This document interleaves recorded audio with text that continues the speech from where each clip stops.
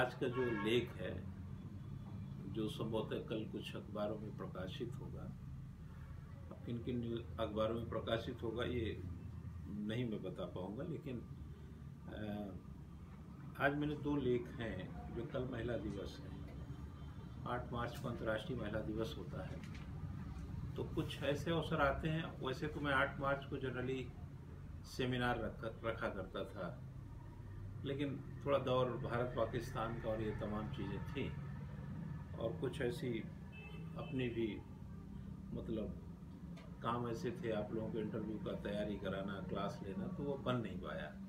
लेकिन दो लेख हमने इस पर लिखा है और वो लेख मैं पढ़ रहा हूँ। एक लेख है, आधी दुनिया की शैक्षणिक स्थिति। आधी दुनिया का यहाँ मतलब है कि दुनिया दो लोग, दो वर्गों से बनी है, एक स्त्री है, एक पुरुष है। और ये मैं पढ़ रहा हूँ। बहुत सारे तथ्य इसमें हैं और इसका लेख का जो प्रसंग है, वो बेसिकली हमने ये देखने की कोशिश की है कि देखिए, आज हालात जो हैं, आज के टाइम में दो तरह के लेख हैं। एक लेख में, दूसरी चीज़ मिलेगी, पर पहले लेख में कि जब ब्रिटिश काल हुआ करता था या ईस्ट इंडिया कंपनी की सत्ता हुआ करती थी तब भी हमारा देश हमारा ही देश था। अलबत्ता औपनिवेशिक सत्ता थी, बट देश तो हमारा ही था ना। और जो लोग यहाँ पे थे, चाहे स्त्री या पुरुष, वो हमारे ही लोग हुआ करते थे। तो क्या स्थिति थी उस समय की शिक्षा व्यवस्था की? उसी को लेकर के ये लेख हमने लिखा है। जरा इसको आप लोग गौर से सुनिए और देखिए कि क्या कुछ ज्ञान आपका बढ़ पा रहा है कि नहीं। शिक्षा या शोध तब पूर्ण नहीं हो सकता। यानी कि मैं यहाँ पर थोड़ा सा फिर से ले रहा हूँ। शिक्षा या शोध तब तक पूर्ण नहीं हो सकता जब तक सामुदायिक सेवा और सामुदायिक ज़िम्मेदारी से निहित शिक्षा न हो। ठीक उसी भांति शैक्षणिक दुनिया तब तक पूरी नहीं कही जा सकती जब तक स्त्री शिक्षा की भूमिका पुरुष की भांति सुदृढ़ नहीं हो जाती।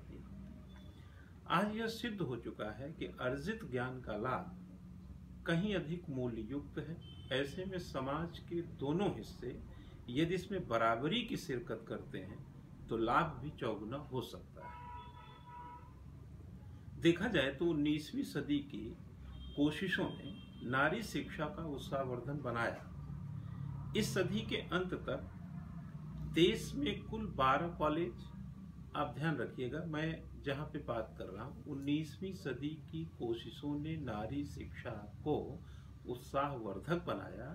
इस सदी के अंत तक देश में कुल 12 कॉलेज चार सौ सड़सठ स्कूल और 5,628 प्राइमरी स्कूल लड़कियों के लिए थे। ओके? ये बहुत ही रिसर्च ओरिएंटेड डेटा हो गया आपके पास। थे जबकि छात्राओं की संख्या साढ़े चार लाख के आसपास थी।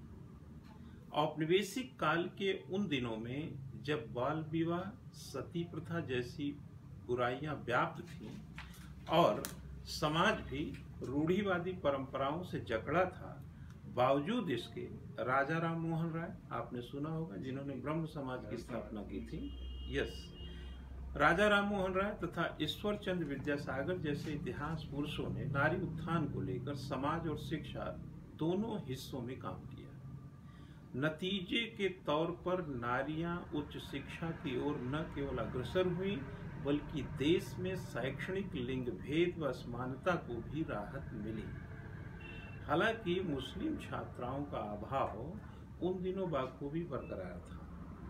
वैश्विक स्तर पर 19वीं सदी के उस दौर में इंग्लैंड, फ्रांस तथा जर्मनी में लड़कियों के लिए अनेक कॉलेज खुल चुके थे। और कोशिश की जा रही थी कि नारी शिक्षा भी समस्त शाखाओं में दी जाए। बीसवीं सदी के पूर्वार्ध में, उन्नीसवीं सदी से मैं बाहर आ रहा हूँ, बीसवीं सदी में। बीसवीं सदी के पूर्वार्ध में यह आधार बिंदु तय हो चुका था कि पूर्वत शैक्षणिक व्यवस्थाओं के चलते यह सदी नारी शिक्षा के क्षेत्र में अतिरिक्त वजनदार सिद्ध होगी। ऐसा अनुमान 19वीं सदी से लग चुका था और जो समाज सुधार हुआ था, चाहे सती प्रथा की बात हो, बाल विवाह उससे भी एक आइडिया डेवलप हो चुका था। सामाजिक जीवन के लिए यदि रोटी, कपड़ा, मकान के बाद चौथी चीज़ उपयोगी है तो वह शिक्षा ही हो सकती है। सदी के दूसरे दशक में, स्त्री उच्च शिक्षा के क्षेत्र में, लेडी हॉर्डिंग कॉलेज से लेकर विश्वविद्यालय की स्थापना इस दिशा में उठाया गया बेहतरीन कदम था। आज़ादी के दिन आते आते प्राइमरी कक्षाओं से लेकर विश्वविद्यालय आदि में अध्ययन करने वाली छात्राओं की संख्या 42 लाख के आसपास हो गई। अंदाज़ा लगाइए, करीब 10 गुना से आसपास चली गई है, हो गई। और इतना ही नहीं, इनमें तकनीकी और व्यावसायिक शिक्षा का भी मार्ग प्रशस्त हुआ। इस दौर तक संगीत और नृत्य की विशेष प्रगति भी हो चुकी थी। 1948 यानी देश आज़ाद हो चुका 1948-49 के विश्वविद्यालय शिक्षा आयोग ने नारी शिक्षा के संबंध में कहा था कि नारी विचार तथा कार्य क्षेत्र में समानता प्रदर्शित कर चुकी है। अब उसे नारी आदर्शों के अनुकूल, पृथक रूप से शिक्षा पर विचार करना चाहिए।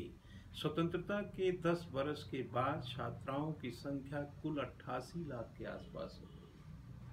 दुगनी और इनका प्रभाव प्रत्येक क्षेत्र में दिखने लगा। वर्तमान में स्त्री शिक्षा, सरकार, समाज और संविधान की कोशिशों के चलते कहीं अधिक उत्थान की ओर है। नब्बे के दशक के बाद, सीधे हम यहाँ आ रहे हैं, नब्बे के दशक के बाद उदारीकरण के चलते शिक्षा में भी जो अमूल चूल परिवर्तन हुआ, उसमें एक बड़ा एक बड़ा हिस्सा नारी क्षेत्र को भी जाता है। वास्तु स्थिति यह भी है कि पुरुष स्त्री समरूप शिक्षा के अंतर्गत कई आयामों का जहाँ रास्ता खुला है, वहीं इस डर को भी नजरअंदाज नहीं किया जा सकता कि आपसी प्रतिस्पर्धा भी बड़ी है। ठीक है ना? आज आर्थिक उदारवाद, ज्ञान के प्रसार और तकनीकी विकास के साथ संचार माध्यमों के चलते अर्थ और लक्ष्य दोनों बदल गए हैं। इसी के अनुरूप अनुपात में शिक्षा और दक्षता का विकास भी बदलाव ले रहा है। इसमें भी कोई दो राय नहीं कि तकनीकी विकास ने परंपरागत शिक्षा को पछाड़ दिया है और इस सच से भी किसी को गुरेज नहीं होगा कि परंपरागत शिक्षा में स्त्रियों की भूमिका अधिक रही है। अब विकट स्थिति यह है कि नारी से भरी आधी दुनिया मुख्यतः भारत को शैक्षणिक मुख्यधारा में पूरी कुवत के साथ कैसे जोड़ा जाए? बदलती हुई स्थितियाँ यह आगाह कर रही हैं कि पुराने ढर्रे अर्थहीन और अप्रासंगिक हो रहे हैं और इसका सबसे ज़्यादा चोट स्त्री शिक्षा पर होगा। यद्यप विज्ञान के उत्थान और बढ़ोतरी के चलते कई चमत्कारिक उन्नति भी हुई है, आंकड़े बताते हैं कि उन्नीस सौ के बीच उच्च शिक्षा में स्त्रियों की संख्या 18 गुना बढ़ी है और अब तो इसमें और तेज़ी है। कुल खुलने सॉरी कुछ खलने वाली बात यदि है कि अंतर्राष्ट्रीय स्तर पर जो शिक्षा व्यवस्था है, उससे देश पीछे है। ये थोड़ा समझने वाली बात है कि हम लोग आगे जा रहे हैं, बट कहीं पे पीछे भी है। विश्वविद्यालय जिस सरोकार के साथ शिक्षा व्यवस्था को अनवरत बनाए हुए हैं, उससे तो कभी कभी ऐसा प्रतीत होता है कि संचित सूचना और ज्ञान मात्र को ही यह भविष्य की पीढ़ियों में हस्तांतरित करने में लगे हैं। इससे पूरा काम तो नहीं होगा। कैरियर के विकास में स्त्रियों की छलांग बहुआयामी हुई है, पर इसके साथ पति, बच्चों व परिवार के साथ तालमेल बिठाना भी चुनौती रही है। काफ़ी हद तक उनकी शिक्षा को लेकर भी चिंता लाजमी है और सुरक्षा को लेकर के भी। बावजूद इसके आज पुत्री शिक्षा को लेकर पिता आ, मतलब पुत्री की शिक्षा को लेकर पिता काफ़ी सकारात्मक महसूस कर रहे हैं। 2011 की जनगणना के अनुसार पैंसठ फ़ीसदी से अधिक महिलाएँ शिक्षित हैं। ये भारत की बात बता रहे पर सशक्तिकरण को लेकर संशय अभी बरकरार है। सशक्त हैं कि नहीं ये बात दूसरी होगी। इसके पीछे एक बड़ी वजह नारी शिक्षा ही है, परंतु जिस भांति नारी शिक्षा और रोज़गार को लेकर बहुआयामी दृष्टिकोण का विकास हो रहा है, अंदाज़ा है कि भविष्य में ऐसे संदेश से भारत परे होगा। सशक्तिकरण की प्रक्रिया में शिक्षा की भूमिका के साथ साध्य और साधन की मौजूदगी भी ज़रूरी है। साथ ही सामाजिक आर्थिक विकास को भी नहीं भूला जा सकता है। समाज के विकास में स्त्री को आज कहीं से कमतर नहीं आका जाता, मगर यह आज भी पूरी तरह कई किंतु परंतु से परे नहीं है। 2011 की जनगणना में निहित धार्मिक आंकड़ों का खुलासा मोदी सरकार द्वारा हाल ही में किया गया था, जिसे देखकर पता चलता है कि लिंगानुपात की स्थिति बेहद चिंताजनक है। सर्वाधिक गौर करने वाली बात यह है कि सिख, हिंदू और मुस्लिम समुदाय को इस स्तर पर बेहद सचेत होने की आवश्यकता है। इसमें भी स्थिति सबसे खराब सिखों की है, जहाँ सैतालीस दशमलव चार चार फ़ीसदी महिलाएँ हैं। शिक्षा के बारे में बात हो रही है, जबकि हिंदू महिलाओं की संख्या forty eight point forty four two मैं महिलाओं की संख्या की बात कर रहा हूँ कि जो सिख में इतनी महिलाएँ, पुरुष में हिंदू में इतनी महिलाएँ। हिंदू में है four, forty eight point four. Two वहीं मुस्लिम महिलाएँ forty eight point seven five फ़ीसदी केवल ईसाई महिलाओं में स्थिति ठीक ठाक और पक्ष में कही जा सकती है। देखा जाए तो स्त्रियों से जुड़ी दो समस्याओं में एक उनकी पैदाइश के साथ सुरक्षा का है, दूसरी शिक्षा के साथ कैरियर और सशक्तिकरण का है। यह रोचक है कि यह दोनों तभी पूरा हो सकता है कि जब पुरुष मानसिकता कहीं अधिक उदार के साथ उन्हें आगे बढ़ने, बढ़ाने वाली हो। हालाँकि वर्तमान में अब ऐसे आरोपों को खारिज होते हुए भी देखा जा सकता है बढ़ा रहे हैं। क्योंकि स्त्री सुरक्षा और शिक्षा को लेकर सामाजिक जागरूकता तुलनात्मक कई गुना बढ़ चुकी है। मानव विकास सूचकांक को तैयार करने की शुरुआत 1990 से किया जा रहा है। ठीक पाँच वर्ष बाद उन्नीस सौ पंचानवे में जेंडर संबंधी सूचकांक का भी उद्भव देखा जा सकता है। जीवन प्रत्याशा, आय और स्कूली नामांकन तथा वयस्क साक्षरता के आधार पर पुरुषों से तुलना किया जाए तो आंकड़े इस बात का समर्थन करते हैं कि नारियों की स्थिति को लेकर अभी भी बहुत काम करना बाकी है।